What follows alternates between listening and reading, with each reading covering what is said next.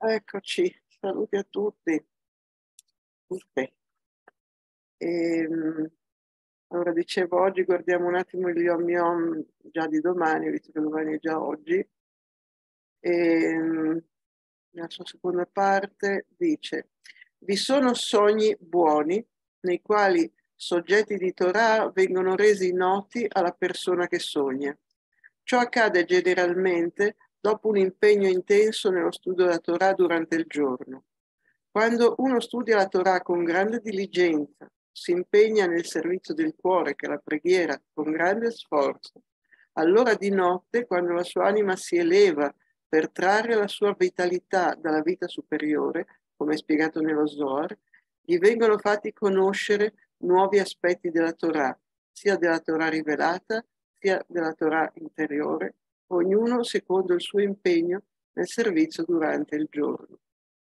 Quando invece di giorno siamo occupati in tutt'altro, abbiamo i sogni più assurdi e poco educativi e didattici nelle nostre notti. Ne so qualcosa, vabbè. Mm, una volta nel mio passato, ricordo che ho segnato il Rebbe e ancora ho questa più di una volta, ma una volta lì ho avuto un'emozione, un ricordo che non dimentico. C'era un'impressione del mondo intorno a me, tutto buio, pieno di cose cattive, persone che fanno cose cattive, poi guardo su in alto e vedo un dirigibile e presente i dirigibili hanno la forma dove sotto c'è una navetta dove si siedono le persone con delle persone sedute e a capo di queste guida il dirigibile il rebbe, il piccolino che lo vedo, e le persone buone lì che, in, che diffondono questa aria di bontà, che portano con questo dirigibile questo, quest'aria opposta. È rimasto dentro questo sogno. Sia che quel giorno mi ero occupato di cose buone.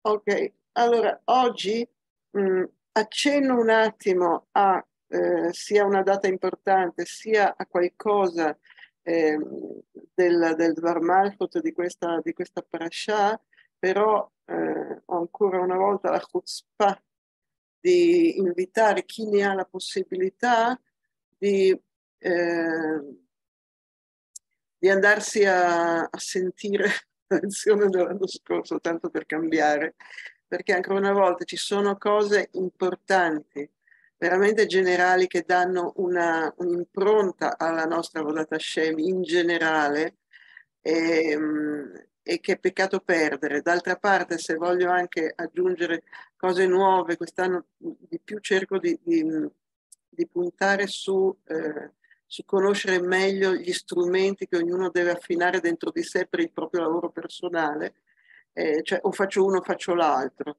Mm, per cui a voi la scelta, chi se la sente può, è al momento giusto, di andarsi a sentire la lezione passata.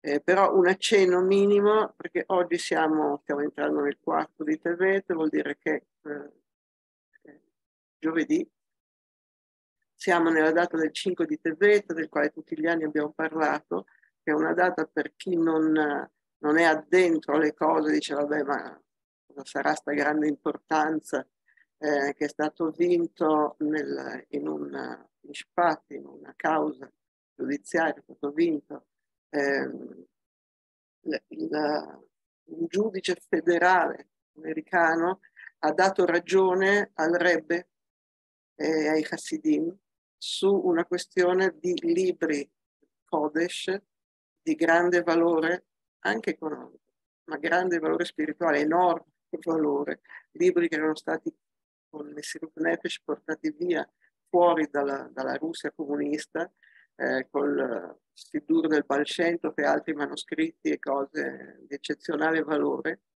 e che erano raccolti per il, per il Hasidim nella libreria dei Hasidim del Rebbe. E con la dipartita del Rebbe precedente, un nipote eh, parente ha pensato bene che questa era un'occasione per fare dei soldi, eh, persona non molto addentro eh, le cose di Ratchamain, di Timore del Cielo, e eh, ha detto in fondo io sono un erede, eh, dopo aver cercato di ottenere per vie normali una parte dell'eredità, è stato spiegato che non è una questione di eredità qui, ha pensato bene di rubare una parte di questi libri per poterci fare degli affari. Eh, il Rebbe ha dato un'importanza gravissima a questa cosa, importanza esattamente come liberare dei prigionieri, come dire che la santità viene presa in ostaggio da questo mondo, evidentemente non può essere, quindi va dimostrato al mondo che la santità ha il potere e non il mondo ha il potere sulla santità. Per cui il, eh, il Rebbe, dopo aver invitato a un Beddin questa, questo parente che non si è presentato, si è rivolto alla Corte federale e eh, lì c'è stato questo enorme, enorme, enorme miracolo. Qualcuno riesce a capire cosa vuol dire eh, che la Corte federale, che un giudice eh, di un paese come gli Stati Uniti che divide in modo ferreo lo Stato dal, dalla, dalla religione, eh, che si basa qualsiasi sentenza solamente sulle leggi e le leggi dicono l'eredità va secondo famiglia, l'eredità e non secondo eh, la, il fatto che esista un rabbino che ha dei, dei diritti spirituali, cioè non esiste un concetto simile. E alla fine il, il giudice ha sentenziato in favore del re state lì feste in cui che, che il confronto Simchat Torah con tutti i balli per strada impallidivano in confronto alla gioia e alle feste che sono state eh, fatte in seguito a questa cosa, che, eh, che rappresenta esattamente il discorso che si vuole dimostrare che Dio è il padrone del mondo che il mondo è stato costruito per la santità e per rivelare il divino eh, spirituale, il divino nel mondo e che se Dio ha creato il mondo, il mondo non può andare contro la volontà di Dio e per fare questo però l'ebreo deve porsi con decisione eh, e non cascare nella trappola di credere e dare potere al mondo. E quando noi crediamo e diamo potere al mondo come un potere eh, indipendente, eh, alla fine Dio lascia che le cose succedano per vie naturali, per cui il mondo eh, riesce veramente a venire contro di noi, ma eh, la prepariamo noi questa situazione, ma questa situazione non è la realtà. Eh, la realtà è quando noi siamo consapevoli e, ehm, e, e qui c'era il collegamento, ma nella lezione se andate attentivi era il tutto molto più particolareggiato, la connessione con la nostra parasha in cui vediamo eh, eh, rispettivamente il tipo di lavoro, servizio divino che ci propone Yosef Azzadik e eh, Yehuda, eh, che sono due tipi di servizio divino dal quale noi dobbiamo attingere molte idee e molta ispirazione. E questa di cui parlavamo è proprio quella attinente a Yehuda, che va eh, a imporsi praticamente davanti al faraone eh, per difendere Beniamin in un modo che non tiene in conto nessuna realtà e eh, fa in modo che la realtà si adegui eh, alla volontà divina e non, eh, e non l'uomo al mondo. mentre il, mentre il servizio di, di, di Yosef, eh, dal quale possiamo anche prendere tantissima ispirazione, è quello di eh, come essere comunque dentro il mondo, pur seguendone anche tutte le regole, eh, senza esserne assolutamente intaccati, senza perdere di vista mai la verità e lo scopo eh, che persuadiamo. E in questa parasha, soprattutto, io ci vedo la, la, la chiave che permetterebbe anche a ognuno di noi di porsi in questa posizione quando per tranquillizzare i eh, fratelli, dopo che si è rivelato loro, dice non, non state arrabbiati, cioè non, non, pensiate che io sono arrabbiato con voi, non, non temete perché Dio mi ha mandato qui. E quando un ebreo, ciascuno di noi, sente in ogni momento della sua vita che Dio l'ha mandato in quel momento in ogni momento a fare qualcosa, a quel punto l'ebreo può veramente immergersi in qualsiasi cosa del mondo senza perdersi, perché si ricorda in ogni momento che è lì in quel momento mandato da Dio con un conto. Quindi questo è un po' quello che noi prendiamo, però ripeto, eh, ve l'ho fatta in super pillola, mentre c'è molto molto più da dire e molto anche di bello, perché chi se la sente va a sentirla. E oggi invece volevo, poi proprio scappare quasi tutte le lezioni ho sentito, che ho studiato, sono andata a vedere, tutte quanti cadevano sul, sulla storia del Savar, del collo. E ho detto, quest'anno va il collo, evidentemente. Questo facciamo, eh, approfondiamo questo, questo tema.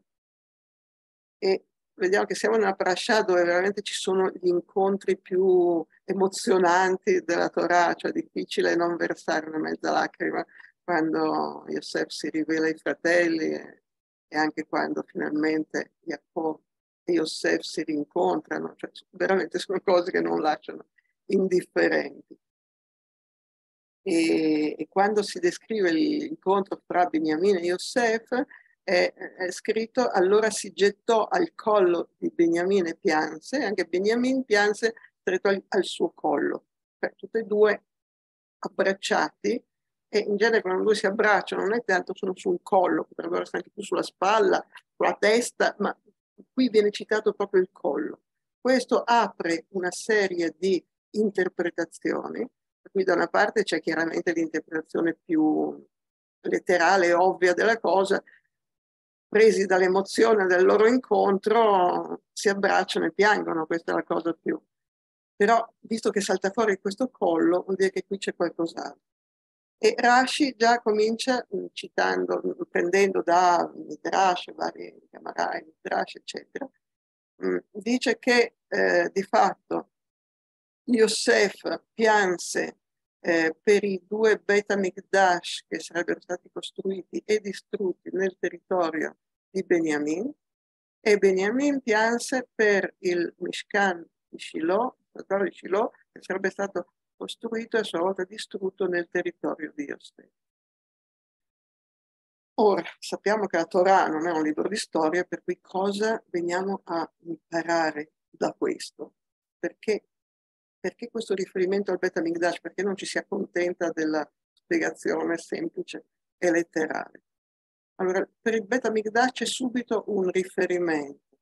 Eh, nel Shira Shirim c'è un verso che dice che Migdal David Zavaret, che vuol dire il tuo collo come la torre di David. La torre di David ci parla del Beta Migdash ehm, e parla del collo. Allora, che cos'è? Eh, il collo riguardo alla persona è, la parte, è nella parte superiore del suo corpo.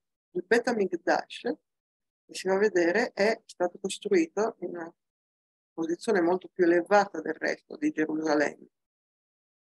Eh, però eh, si vede che anche il Beta Migdash non è stato costruito nel punto più alto, ma 23 Amat, eh, al di sotto del punto più alto, come il collo nella persona, pur essendo una parte superiore, non è la parte più alta, perché la parte più alta è la testa.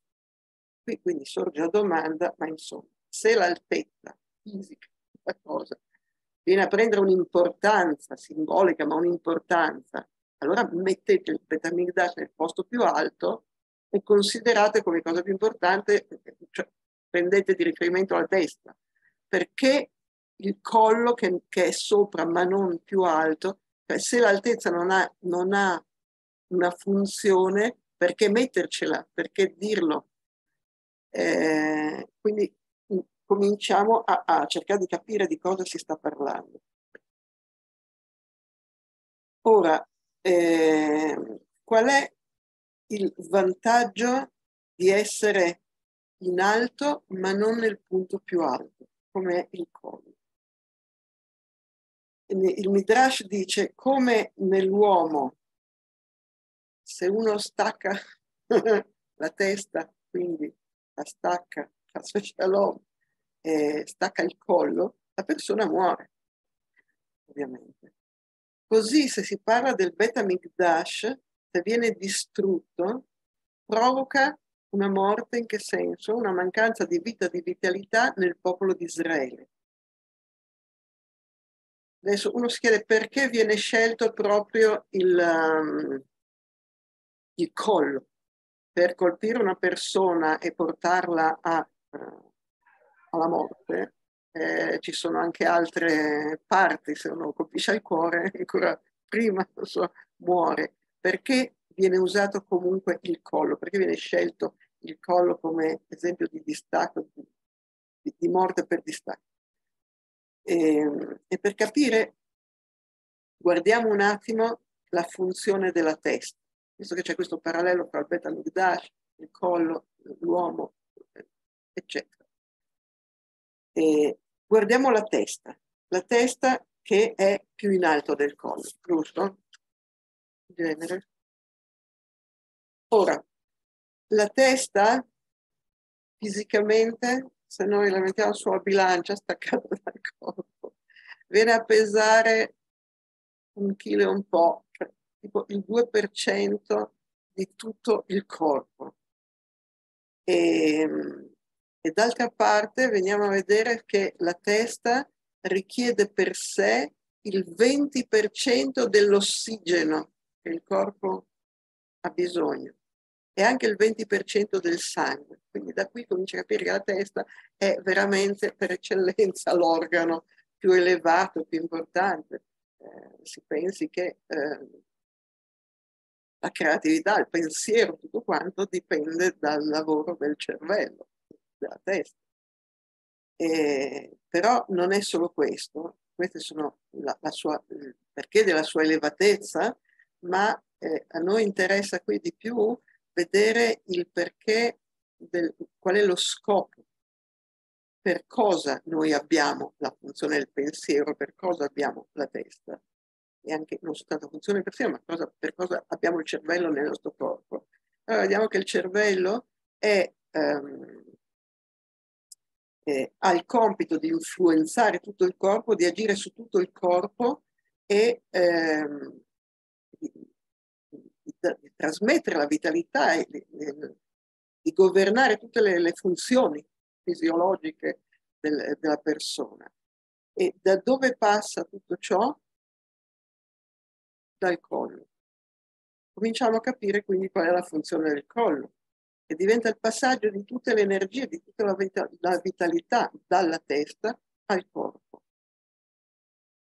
E, e qui faceva un esempio che nella nostra vita pratica, siccome noi non, non siamo molto consapevoli dell'importanza delle parti del nostro corpo e del nostro corpo, perché le, le diamo per scontate, in genere ci accorgiamo eh, del valore della salute e del benessere quando qualcosa ci fa male. Eh, quando si sta bene, si, e questo è un buon segno, non si sente nessuna parte, non si sente neanche il nostro funzionamento del cervello né niente.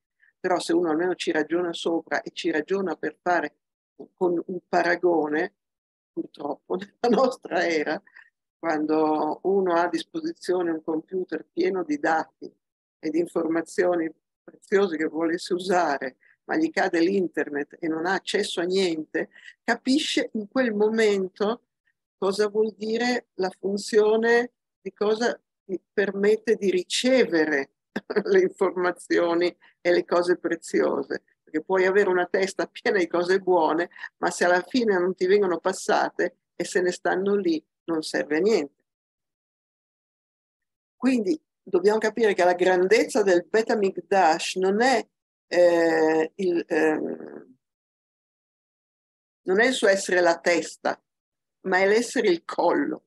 Abbiamo mai visto forse il Beta Migdash come il collo e adesso lo vediamo oggi come il collo vuol dire che il Betamigdash non è tanto di per sé Kadosh perché si rivela lì la presenza divina.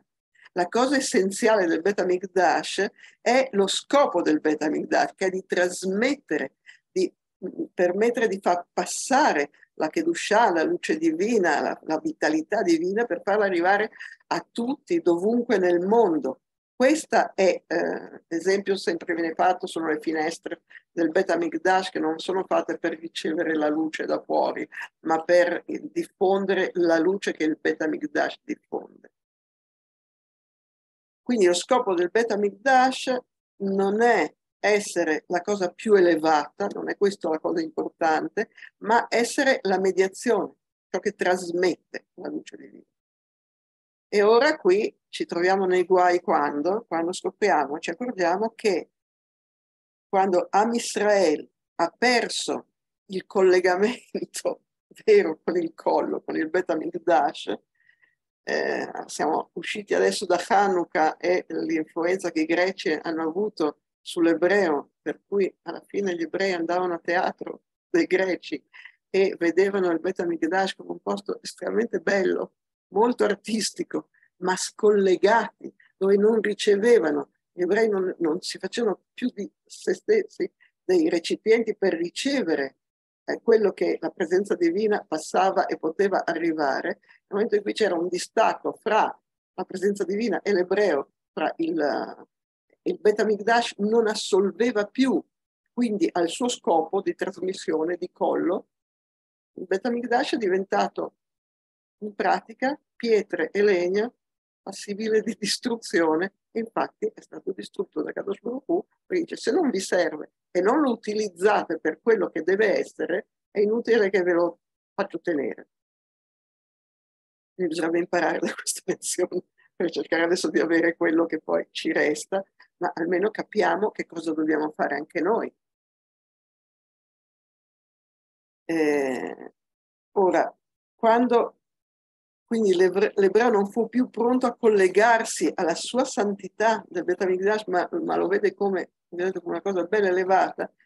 Eh, anche se Kadosh, non è che non pensavano che ci fosse, che non ci fosse Kadusha nel, nel Betamigdash, ma staccata da lui c'è, eh, senso, c'è il Tempio e ci sono io, eh, senza collegamento. E qui si arriva a, alla distruzione. Ora anche l'uomo è Olam Katan, cioè il macrocosmo, il microcosmo, tutto è parallelo e corrispondente. Per cui anche, ehm, ed anche l'ebreo è Betamikdash a sua volta, e ogni ebreo è stato creato da Dio per uno scopo, abbiamo un compito, abbiamo qualcosa da fare qui. Eh, e la sapienza e tutte le qualità che Akadosh Baruch ci ha dato, se non sono solo per uso personale, hm? Ma per influenzare e agire sugli altri, su me stesso, sul mondo, per trasmettere, per trasmettere santità, vitalità divina al mondo. E...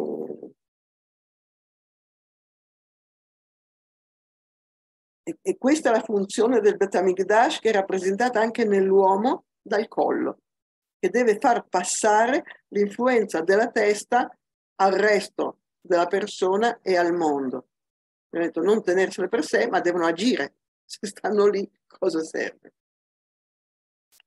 Ora, la, l'aiuto per arrivare a realizzare questo, la Chassidut, ma soprattutto Chabad, se l'è presa in carico come cosa principale. Se andiamo a vedere, Chabad è Chokhmah, Binah, Da, quello che avviene nella testa, e Chabad è chiamato anche Lubavitch, Lubavitch era la cittadina in cui il, il significato del nome c'è dentro Luba che è amore, città dell'amore. Per cui si vede già che lo scopo di Chabad è prendere Chorma, Binah e Dat, prendere tutto l'intelletto e fare sì che agisca amore sulle emozioni. Questo è il compito e bisogna vedere come portarlo a termine volte anche come cominciarlo. Ora, noi vediamo nel Tania, oggi vi cito, visto che siamo, ricordo tutte, siamo all'inizio della, del ciclo nuovo del Tania, siamo ai primi capitoli, per cui chi non ha cominciato può cominciare adesso e recuperare, eh, recuperarsi l'edizione italiana se non può seguirla in ebraico.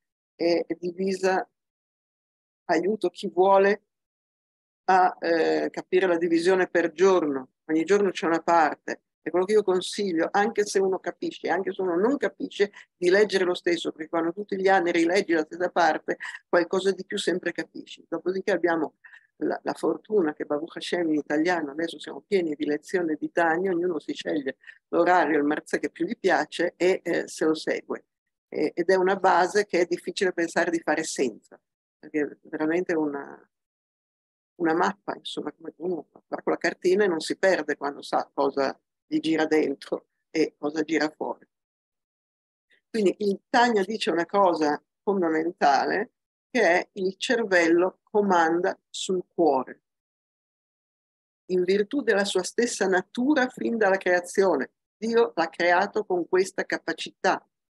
Per cui il fatto che per noi spesso non succede non vuol dire che il cervello non ha la capacità di comandare sul cuore, ma che io non ho imparato o non ho scelto di volerlo fare, perché per volerlo fare devo lavorarci, perché c'è anche tutta un'altra parte che cerca di appropriarsi e, eh, di, e di, mettere le mani sul, sulla cosa. Quindi eh, l'ebraico è famoso Moach Shalit al e dice anche ogni uomo può con la forza di volontà che è nel suo cervello dominarsi e controllare la spinta al piacere che c'è nel suo cuore, impedendo ai desideri del suo cuore di esprimersi in azioni, parole o pensieri, sviando completamente, la, cioè l'uomo può sviare completamente la propria attenzione da ciò che il proprio, cuore, il proprio cuore pretende e indirizzarla invece in una direzione assolutamente opposta e particolarmente verso la santità. Quindi quando la persona viene ehm, catturata da un impeto di volere cose che non sono le cose giuste, non sono le cose buone e, eh, e si lascia andare eh, senza, senza freni, eh, in questo caso è, si descrive la persona col famoso, con la famosa espressione ebraica Bali. Bali è mi va, ho voglia, mi va, ho voglia, per cui prendo e faccio, senza neanche starci su a pensare. Questa modalità è la modalità dell'anima animale, ma la modalità proprio dell'animale. L'animale non sceglie, segue i suoi istinti e non ha nessuna libertà e possibilità di scegliere. Quindi quando noi andiamo dietro al Bali, praticamente rinunciamo alla prerogativa che noi abbiamo di poter ragionare e scegliere che cosa capiamo che è bene per noi. Quando invece azioniamo questa capacità che il, il, il pensiero ha, siamo in grado addirittura, dice il Tania, di eh, davanti a un, un, impeto del cuore che ti porta da una parte, di indirizzarlo invece addirittura nella direzione del tutto opposta. Questo è tutto l'opposto. Eh, cioè, quindi mi sta sulle mm, scatola una persona e gli vorrei e invece rivolto che addirittura quella persona lì dal profondo dell'animo gli faccio un grande sorriso e, e, e gli esprimo tutto il mio affetto. Sembra fantascienza, no, è possibile, ma non è a gratis, è, è frutto di lavoro. Però lavoro che conviene, che paga, perché vivere comunque nell'odio è qualcosa che ci, eh, diceva sempre mia mamma, che si mangia il fegato. E se ne è mangiato parecchio. E io le vado dietro, vabbè, lasciamo perdere. Ehm, è scritto anche, allora eh, io vidi che la saggezza eccelle sulla stoltezza come la luce eccelle sulle tenebre. Quindi il tipo di lavoro che ho da fare non è stare a combattere con le tenebre, ma a, a mettere luce. E la saggezza è quella che fa luce, e la stoltezza è il buio. E noi abbiamo la capacità di accendere la nostra lampadina, tipo chi legge Topolino, l'assistente di Archimede, e eh, di illuminare il, la stoltezza che è in noi, perché si dice anche che uno non pecca se non entra un uh, un, uno spirito di stoltezza dentro di noi.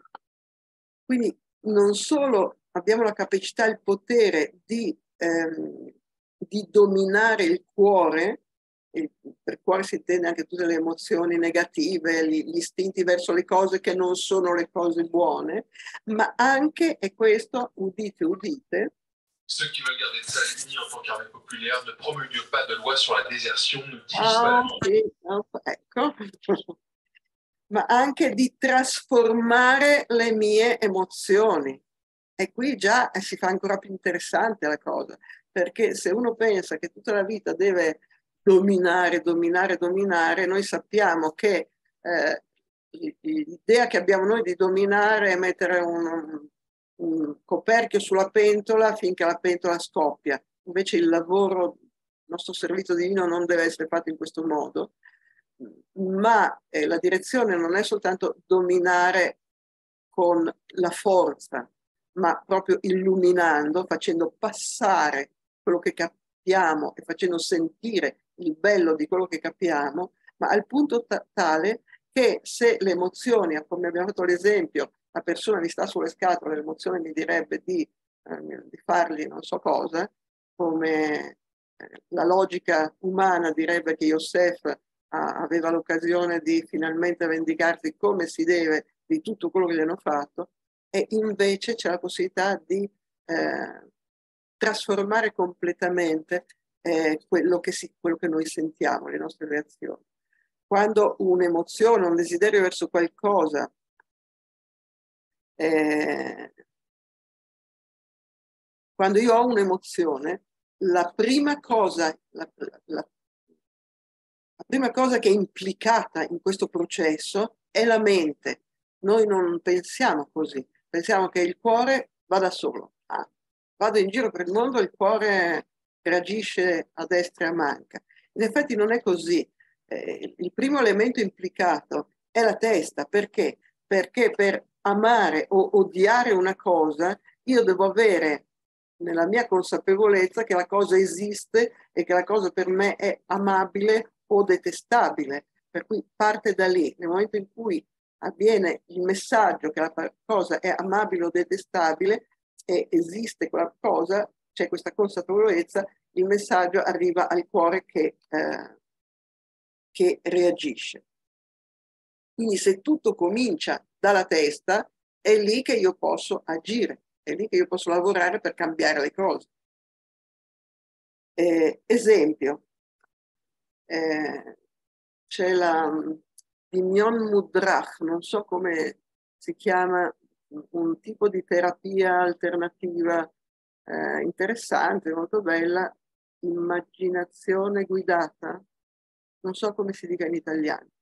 Comunque ti porta, eh, è basata proprio sul fatto che quando tu vis- visualizzi qualche cosa non ti limiti a visualizzare, ma eh, cominci anche nella tua visualizzazione a sentire eh, le emozioni che sono collegate all'im- all'immagine, alla situazione che ti stai immaginando, fa nascere dei sentimenti. Per cui una persona è in grado eh, di decidere che cosa mettere. Noi poi abbiamo anche la fortuna che nella nostra testa non ci sta più di un pensiero alla volta. Quindi se penso una cosa, allo stesso momento non posso pensare a un'altra.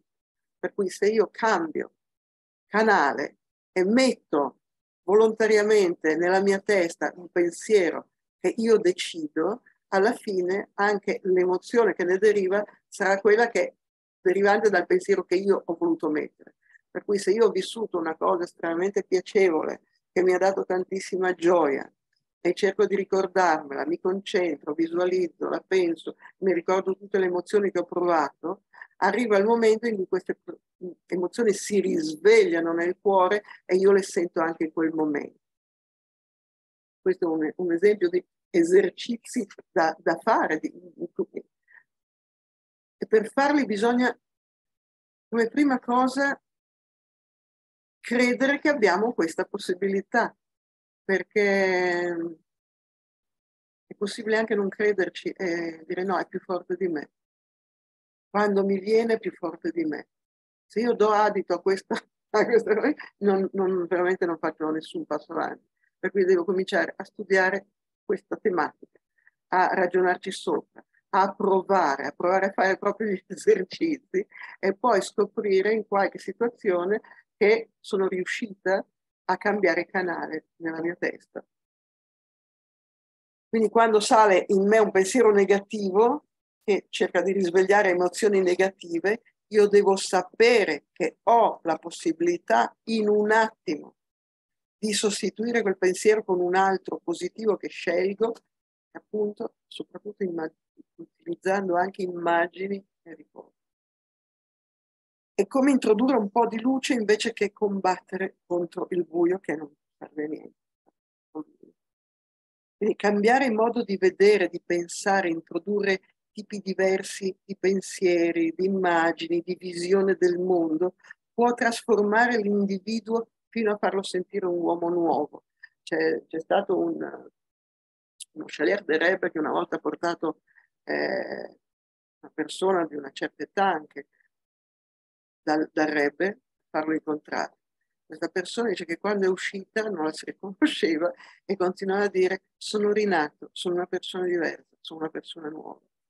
E tutto questo è solamente un immettere dentro la nostra mente una possibilità di vedere le cose da un punto di vista diverso. Cambia completamente, cambia lo spunto completo del nostro, il nostro mondo emozionale. Ma tutto ciò poi, appunto, per essere efficace, deve passare dal collo. Se qui abbiamo la, la barriera, eh, non ci arriviamo e la barriera c'è anche proprio quando ci siamo, come abbiamo detto, lasciamo andare al Bali, mi va. E invece noi dobbiamo decidere che noi possiamo e dobbiamo scegliere a cosa pensare e possiamo fare. Magari non in tutti i momenti della giornata, evidentemente, però se io ci provo tutti i giorni in qualche momento, questa capacità, come quando fai ginnastica, i muscoli atrofizzati cominciano a prendere una certa forma, magari si espande nella giornata e hai più possibilità di più volte sentirti in questa, in quest, a, a, esercitare questo potere eh, che ognuno di noi ha. Ora, nella storia del, eh, dell'incontro fra Yaakov e Sav, torniamo un attimo indietro perché ci aiuta a capire anche altri aspetti interessanti. Eh, anche lì viene detto si gettò al collo e pianse, però se nella lezione in cui abbiamo trattato questo argomento abbiamo dato spazio solamente alla interpretazione positiva che veramente eh, Sav lo baciò con tutto il cuore. C'è però anche un'altra versione che dice che Esav cercò di morderlo per staccargli la testa praticamente e eh, la testa per un miracolo, il collo si trasformò come una colonna di, di marmo e eh, Esav si ruppe tutti i denti. Ora, ehm, a parte il desiderio di Esav, secondo questa versione, di far male o di uccidere eh, Yaakov, capiamo che in senso più spirituale, adesso che abbiamo capito cos'è il collo, la vittoria di Esav passava dalla possibilità di disconnettere Yaakov con la testa, cioè di non permettere più che la sua spiritualità si infondesse in tutta la sua persona e in tutto il mondo. Per cui lo sconnetto e su di lui eh, ho già vinto. Quindi cosa che prima non avrei potuto capire finché non abbiamo studiato il collo, oggi facciamo anatomia. Ora, ehm, e, e, ora spieghiamo perché Yosef e Binyamin ehm, piansero l'uno sul collo dell'altro e non per esempio sulla sulla testa, in fondo sono vicino, eh, eh, la loro testa si toccava e la testa è la parte più eh, elevata della persona, più spirituale della persona. Però abbiamo visto il collo è il punto di passaggio e se c'è un problema è nel collo la causa, è nel passaggio. La testa può avere un grandissimo potere positivo sulla persona, può, ha questo potenziale, eppure a volte si vede che invece di essere di lasciare che sia quello che deve essere padrona di casa, eh, la testa rinuncia a questo diritto, a questo merito e si ritrova a fare la, la sguatra, la sguatra dei desideri del cuore praticamente. E, eh, E la nostra scelta deve essere quella di usare questo potere, ma è in mano nostra, non è automatico, dobbiamo scegliere. Eh, veniamo ora alla domanda, perché Yosef pianse per i Betamigdash, che erano nel territorio di Beniamin, e perché Beniamin per il Mishkan, che era nel territorio di Yosef. Cioè perché, nessuno, perché ognuno non ha pianto per quello che aveva lui. In genere quando una persona vede una cosa che gli è capitata, piange, meno evidentemente piange per quello che è capitato all'altro. E qui c'è qualcosa di veramente fondamentale che dovrebbe farci cambiare un po' dentro la nostra. Ruth, scusa, c'è qualcuno che mi sta chiedendo che non riesce ad entrare. Come ci sta provando? Perché io non, non vedo, ness- io non vedo nessuno. Mi ha detto è entrata senza problemi. E infatti detto... l'ho fatta entrare io, Hanna. Eh, eh, Lorella, puoi rimandarle il link? Vedere se magari non okay. sta schiacciando su una cosa sbagliata. Scena. E, allora qui mm, ci arriviamo passando da un altro eh, gradino ed è una, un'espressione che dice Reshaim Meleim Haratot Kerimon. I malvagi sono pieni di rammarico, di pentimenti, eh, come un melograno. Cosa vuol dire qua? Una spiegazione è che il rammarico per i propri peccati, quando ci piangi su e sospiri, può avere purtroppo la funzione di tranquillizzare la persona, vedi sono sensibile, mi dispiace, capisco che ho fatto qualcosa che non va, adesso mi sento meglio e continuo a fare le stesse cose. Tanto che è detto, è meglio un'azione di mille sospiri. Eh, e se sembra strano questo, non è così strano eh, se ci pensate bene, è qualcosa che io penso che a ognuno di noi eh, succeda. Sospirare si sospira molto per quello che non riusciamo a fare, non facciamo bene, ma da questo non è che viene il, l'impulso a questo punto di cambiare le cose. E eh, perché per farlo ci vuole lavoro, per, per lavorare ci vuole consapevolezza, e per aumentare la consapevolezza facciamoci una domanda. In genere per cosa si piange? Per cosa la persona piange? Per la gioia, per il dispiacere, per uh, l'emozione, ci sono mille motivi per cui la persona piange. Però in ognuno di questi motivi, comunque, il comune denominatore è che si piange per qualcosa che per la persona è importante, altrimenti non viene da piangere. E qui è interessante come da per cosa una persona si stressa e piange, sospira e oi, oi va voi, si vede dove è messa la persona nella sua vita. Per cui purtroppo quando si vede che una persona piange a mare lacrime perché gli hanno fatto un graffio sulla macchina, capisci nella scala di valori sentiti emozionalmente nella sua vita dove lui si pone o perché si è macchiato il vestito o perché qualcuno gli ha buttato lì una parola poco carina eh, o perché ha perso il treno. Eh, sono tutte cose spiacevoli, ma quando uno arriva a sentire che ognuna di queste cose nella sua vita è una tragedia che lo fa sospirare, piangere, dire ecco, vedi, ma perché? Capisci che sei messo un po' come i bambini piccoli, che non è sviluppato il, la loro mente per cui eh, desiderano le cose di poco conto e si arrabbiano per cose di poco conto. Però un adulto dovrebbe aver raggiunto dei livelli differenti. Per cui uno può capire dove è messo nel, nel suo progresso, nella sua vita, dal, dalle sue reazioni negative. E c'era è stata raccontata una storia che fa veramente impressione, cioè fa anche dispiace di parlare, non so se questo la suonerà, ma il figlio di un, di un Rosh Shiva, di, di, qualcuno che passava la sua vita intorno alla Torah, insegnare Torah, eccetera, che un giorno torna a casa e il figlio lo vede che eh, c'erano stati degli operai che stavano facendo dei, shipuz, rinnovamenti nella cucina, hanno messo delle piastrelle, ma non, le piastrelle non erano perfettamente allineate dritte. E lì a quel punto il padre Rosh Yeshiva ha cominciato a urlare a questi operai in una maniera non normale e il figlio si è chiesto, Torah, se la Torah è questo, se studiare la Torah porta questo, e il figlio purtroppo, spero che sia tornato per quel momento, è sceso dal treno perché ha detto questo non fa per me. Qui dobbiamo veramente capire eh, la dicotomia, per cui capiamo delle cose, poi il collo qua blocca e ci comportiamo come degli animali.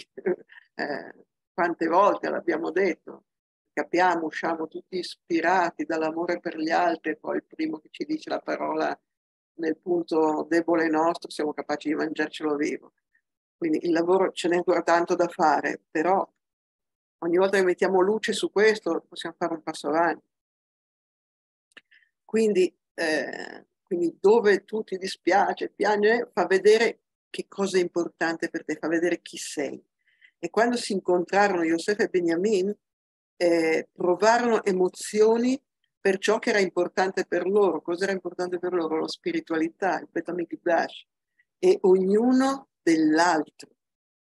Eh, prima pianto di gioia perché ognuno ha capito che nella parte dell'altro sarebbe stato costruito un santuario, sarebbero stati costruiti due, ehm, okay, due Betamigdash e poi il pianto di dolore per l'altro perché eh, sarebbero stati distrutti. In parentesi, perché non era in questa lezione, però anche uno dei motivi per cui si piange per l'altro e non per se stessi è perché per se stessi non serve a niente, è una perdita di tempo piangere, perché qualcosa non va per te stesso, tiri sulle maniche e cerchi di aggiustare la cosa. Piangere è... Cioè, puoi piangere quando ti sei fatto male o quando è morto qualcuno, ma per il resto non è una cosa utile costruttiva mentre per l'altro che non puoi fare il lavoro per l'altro, dopo che hai cercato di aiutarlo per quello che puoi e senti il dolore dell'altro, piangi per l'altro. Questo sì, che ti fa sentire l'altro vicino. Ora, ehm, dice, scrive il figlio del Khatam Sofer, Khatam Sofer non mi ricordo come viene chiamato, che il, ricorda che il, fu, il Tempio fu distrutto per l'odio gratuito, per Sinat Hinam e l'odio iniziò, iniziò in varie situazioni, però qui parliamo dell'inizio del, della, della costruzione del popolo di Israele, per cui l'odio per noi cominciò con la lite, l'odio fra i fratelli, fra Yosef e i fratelli, anche se poi se si va in profondità si vede che la, quello che avevano contro non era odio gratuito, perché c'erano sotto dei ragionamenti che avevano una certa base di interpretazioni diverse per cose positive, per cui però non, non entriamo in questo. In ogni caso c'era una situazione non sana di odio, di lite. E nel momento in cui finì la lite, quando Yosef si rivelò e tutta la situazione emotiva eh, che si creò dove Yosef pianse e eh, i fratelli capirono che non era arrabbiato con loro perché ha espresso i suoi sentimenti, le sue emozioni verso di loro quindi veramente terminato l'odio, a quel punto ehm, ora Yosef e Benjamin poterono vedere il Betamigdash. Allora ripetiamo, il Betamigdash viene distrutto per Sinat Hinam, cominciò anche lì. Nel momento in cui viene superata Sinat, Sinat Hinam, si apre la possibilità del, della costruzione del Tempio. E, ehm, qui per finire c'è un, una storia che eh, fa capire ancora altri gradi di, di profondità ai quali possiamo arrivare come, come lavoro. E, ci sono due fratelli eh, Hasidim eh, famosi nel, per varie storie, Rabbi Zusha e Rabbi Elimelech. E Rabbi Zusha racconta che una volta era, si era avvicinato alla porta di, una, di un'osteria e ha visto due mh, ubriachi eh, e uno diceva Iva, come ti voglio bene, non puoi capire come ti voglio bene. E l'altro diceva, non è vero, tu non mi vuoi bene. Ma no, io ti voglio tantissimo bene. Altro, non è vero. Sì, no. Perché? Perché non ti dovrei voler bene? E l'altro dice, tu senti quello che mi fa male, e lui dice no, come faccio a sentire a sapere quello che ti fa male? E allora questo nei fumi dell'alcol ti spiega e gli dice, se non sai che cosa mi fa male e non puoi aiutarmi in ciò che mi fa soffrire, non mi vuoi veramente bene. Dice Ravi Zusha che da questo lui ha imparato una grande lezione. E qui veniamo all'ultimo tema che è quello della sensibilità. Si comprende qui che cos'è la sensibilità e qual è la sua importanza. Per essere sensibili, e questa è una delle frasi che io vorrei scrivermi e tenermi lì, per essere sensibili verso gli altri bisogna accettare, essere d'accordo a sentire. E non è una cosa ovvia, perché la tendenza invece è a chiudere e difendersi, non accettare di sentire anche il proprio dolore e anche il dolore degli altri.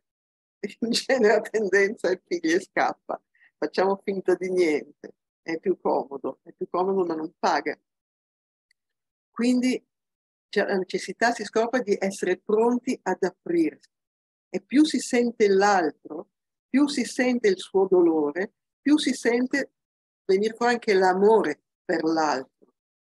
E non è un sentire il dolore e sprofondare dire ecco non c'è niente da fare, non in questo senso, ma proprio empatia, semplice empatia. Se si sceglie sempre infatti di fuggire dal dolore degli altri, ma anche del proprio, non si può amare veramente. Eh, sono barriere solo che poni in te stesso e con gli altri. Quindi quando scappo da ciò che mi fa male, alla fine sto anche peggio perché, perché non sono veramente con me. mi lascio indietro, mi, mi taglio no, non amo me stesso. E così succede fra padre, e figli, fra marito e moglie, viceversa, moglie e marito. Quando si è pronti a sentire il dolore dell'altro, a sentire la difficoltà dell'altro, e non, cioè senza eh, subito dare consigli o sgridare o criticare, no, semplicemente essere lì, ascoltare e sentire l'altro. Questo permette veramente di sentire nascere in se stessi e nell'altro l'amore e sappiamo che l'amore, questo è amore vero, è quello che si oppone all'odio gratuito ed è quello che permette la, la, la costruzione del Tempio, quello eterno. Per cui sentendo ognuno l'amore, la gioia e il dolore dell'altro, Yosef e Beniamin hanno gettato le basi per il terzo tempio, per il superamento del Sinat Finam con Avat Finam, con amore gratuito e ci hanno dato la forza anche a ognuno di noi di rivelare l'amore che abbiamo dentro, ehm, che si può esprimere in, in, tutti i modi in qualsiasi momento. C'è la, la storia di un, di un, famosissimo Hassid che in, ha sofferto tantissimo in Russia, eh, Futterfass, ed è stato, tutto quello che ha fatto per l'ebraismo, è stato imprigionato, messo in campi di, di lavoro e a un certo punto, per lui l'amore, l'amore di Israele è una cosa fondamentale, cioè come togligli quello, togligli il respiro, il sangue. E in questa azione lì lui che non aveva ebrei intorno, non ne aveva, quindi come poteva esprimere? Quindi amore per l'altro non è solamente aiutare l'altro, certamente aiutare l'altro, ma cosa ha fatto? Ogni giorno ha preso su tempo per concentrarsi e pensare a ognuna delle persone che ha voluto pensare e mandare, esprimere, sentire e ravvivare l'amore che sente per quella persona. Sono sicura che chi è stato toccato dai suoi pensieri l'ha sentito, ne è stato arricchito. E questa è anche una cosa che ognuno di noi può fare, per pensare bene all'altro, bene dell'altro, pensare alle cose buone dell'altro, a quelle che si vedono e soprattutto a quelle che non si vedono. E questo è un lavoro quotidiano. Cioè, in quello che abbiamo detto oggi abbiamo se ce la risentiamo un po', abbiamo, abbiamo tonnellate di ehm, esercizi, lavoro possibile, comprensione, e tutto questo dal collo. Eh, è detto che non per niente è stato data questa grande importanza al collo, tanto che Hashem ha deciso che ci deve essere un posto preeminente dove uno si mette le collane, tutti i gioielli, è il collo, evidentemente, per sottolineare la sua importanza. Eh, concludiamo con, con questo, eh, concludo quantomeno la registrazione, invece chi resta farà piacere sentire.